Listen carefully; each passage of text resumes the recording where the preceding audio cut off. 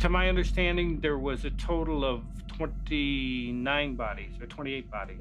Were I feel bad about killing the first person I killed in Vietnam. I see them just as vividly, just as clear. One was under the garage.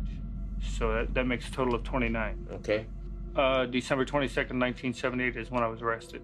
You're gonna be dead in two days. Yeah, I am. Have you processed that? I mean, as much as Did that arrest you, Carl? Uh, December 22nd, 1978 is when I was arrested. Number 3. Billy Wayne Coble. A Vietnam vet and an electrician by profession, Billy Wayne Coble had married Karen Vicha in the summer of 1988.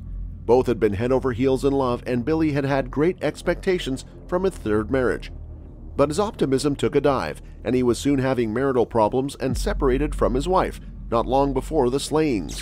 Do you regret what you did that day? Do you understand and feel the horror? I accepted I did the murders, yes. I accepted that I'm here for those. Do you feel bad about what you did? Well, I feel bad about The murder of Bobby and his parents. Yes, I feel bad that. Uh, I feel bad about killing the first person I killed in Vietnam. I see them just as vividly, just as clear. Coble had kidnapped Karen Vicha at knife point. He had attempted to convince her not to divorce him, but eventually had released her unharmed. Several weeks later, Coble was seen driving around the area where Karen Vicha and her parents had lived. Drunk on power, Coble had driven around the small town of Axtell in central Texas in search of his estranged wife Karen, who had threatened to divorce him. Whilst he couldn't find Karen, he did find her mother Zelda Walling Vicha, father Robert Joseph Vicha, and brother John Robert Vicha. Reports filed after his arrest detail how he shot them in their home. Coble later found Karen and kidnapped her at gunpoint after handcuffing her three children and their cousin to a bed. Death. Who is not going to leave this world? Aren't we all? Did you love your wife, Karen? We all have emotions. Mm. And there's many different as I did the day that it happened. But I can never go back and change that. Away with Karen in a car, but was pursued by the police, who arrested him when his car crashed. Despite sustaining knife wounds from where Coble had attacked her with a knife, Karen had survived. Whilst Coble was in hospital receiving treatment for car crash injuries, he is believed to have told various members of hospital staff that he had taken the lives of three people. Since his capture and arrest in 1990, Coble remained in prison and was put on the ending row in the same year. However, in 2007, the gallows sentence against him was overturned, and he was awarded a new trial. At the retrial a year later in 2008, the jury again sentenced him to the gallows. Coble spent nearly 30 years on the infamous ending row of his run from fate after the August 1989 shootings. Finally meeting with his maker on February 28, he became the oldest inmate executed by Texas since the state resumed carrying out capital punishment in 1982. Number 2. Scott Dozier Scott Dozier was born for his eyes as he decidedly took a dark path. By his mid-20s, he was making much of his income from the production and sale of methamphetamine, during the course of which he would alternate between Nevada and Arizona, the two states in which he was convicted for the slayings which proceeded.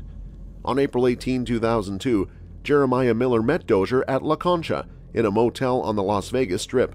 Dozier had promised to help Miller buy ephedrine, a key ingredient in the production of methamphetamine. Miller had brought $12,000 in cash for that purpose. Upon Miller's arrival at La Concha, Dozier took his life, dismembered him, and stuffed him into a suitcase and disposed it near an apartment complex in western Las Vegas. The suitcase was discovered by a worker in the following week. You're gonna be dead in two days. yeah, Have I you, am. Have you processed that? I mean, as much as I'm thrashing, coughing. So actually, I was going to bring that up with my mother and say, listen, just so you know, I've talked to people. I don't, get it at all.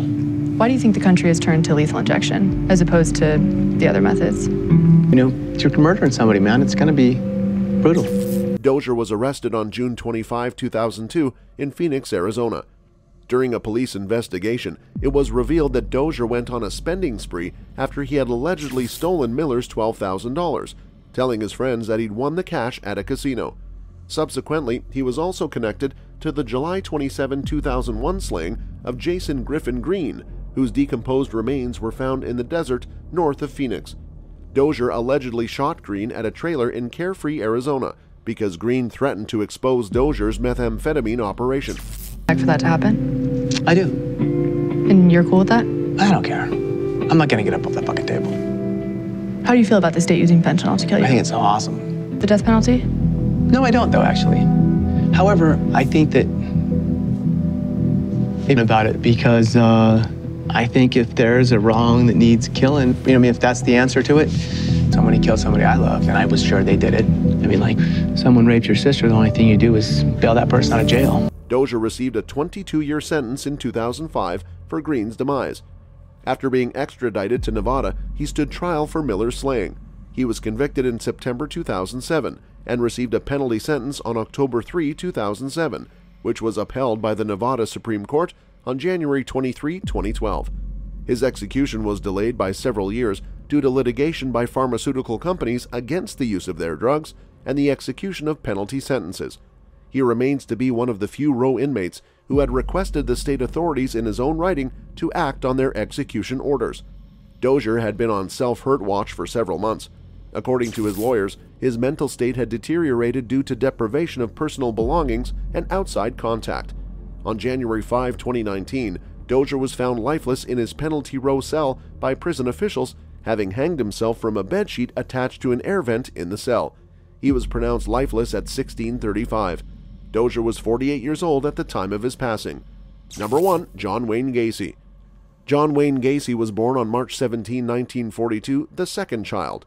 Gacy was close to his mother and two sisters, but endured a difficult relationship with his father, an alcoholic who was physically hurtful to his family. One of Gacy's earliest memories was of his father beating him with a leather belt for accidentally disarranging components of a car engine he had assembled. His mother tried to shield her son from his father's axe, but to no avail. Despite this mistreatment, however, Gacy still loved his father, but felt he was never good enough in his father's eyes. By 1949, Gacy was able to come into his own and build a life for himself with the new addition to his life, Marilyn. After a six month courtship, Gacy and Myers married in September 1964. Marilyn's father subsequently purchased three Kentucky Fried Chicken restaurants in Waterloo, Iowa. The happy couple moved into their new home, where he opened a club in his basement, where his employees could drink alcohol and play pool. These premises later became the site of many incidents of hurtful acts. Way in the back of the house, in the rec room, on the telephone. When they walked, finally walked, walked around the side of the house, police station. Okay, well, I didn't have time because I was doing work for the county and, and stuff like that. I started doing painting and then I started doing wallpapering and decorating. And inside of three years, 1974 became a corporation.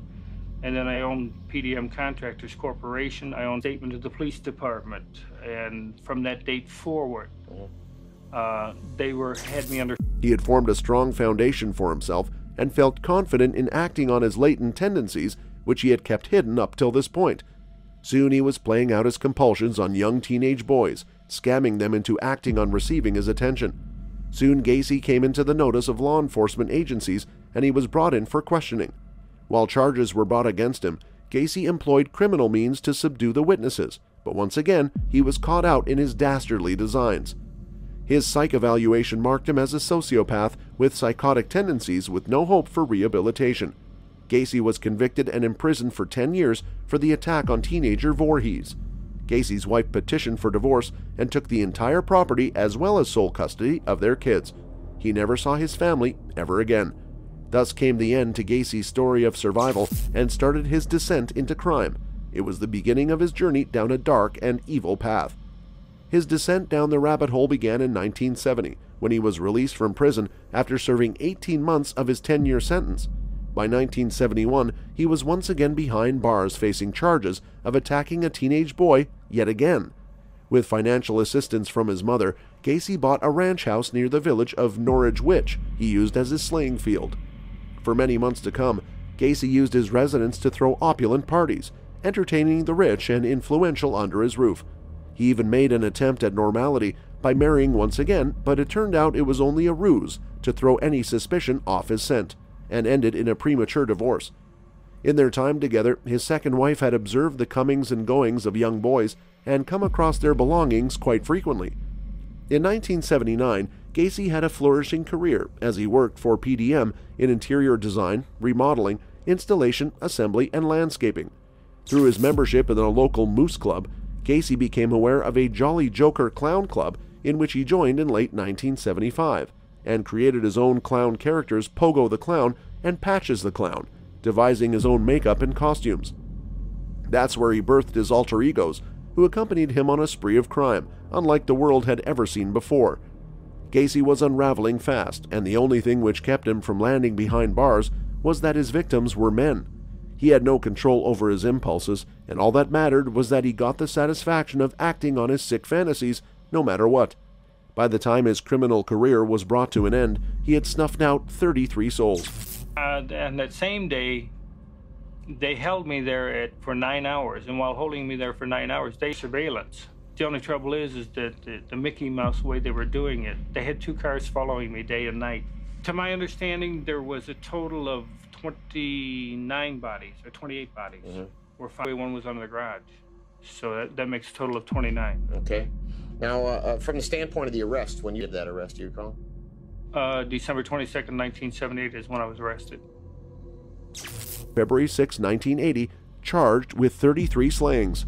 His lawyers opted to have Gacy plead not guilty by reason of insanity to the charges against him. Presenting Gacy as a Jekyll and Hyde character, the defense produced several psychiatric experts who had examined Gacy. But the testimonies against him started piling up, and his accusers started pouring out of the woodwork. John Gacy's long criminal career was about to come to an end, and his criminal tendencies had provided him with the rope to use as a noose against his own neck. At his final hearing, the jury deliberated for a measly one and a half hours before it passed a guilty verdict, convicting him of the crimes he was facing. At the time of his conviction for 33 slayings, it was the highest count which any person in U.S. history had ever been convicted of. That's all for this video, folks. We will see you another time.